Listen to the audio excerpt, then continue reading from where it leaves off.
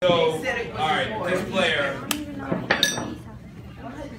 really kind of completes us, right? Um, I think that you know he shows a lot of of things out there. I mean, you know, uh, he's a good sport. You know, he uh, he has a good sense of humor. Um, he gets jokes. He understands to be smart. And I think that when he's on the field, I think you know kids feel confident and they feel, you know, he's going to help us. And when he's at the plate, they feel the same thing. He's going to help us, you know. And boy, did I, I work hard to get this kid to come over here. And um, I think he brings a lot to the team. And it's, it's, it's really hard. And, and I think Coach named it, you know, really good. Like, this is the best all-around player.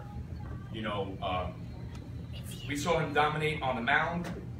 We saw him make really spectacular plays at his position. We saw him hit the ball really well this year, especially towards the end. Um, and, you know, I don't think our team would be the same without him. And this year's best all-around player goes to my man Larry. Larry,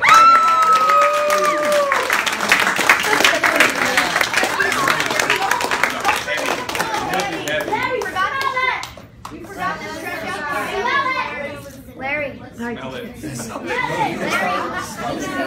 Their trophies. Are supposed to smell it.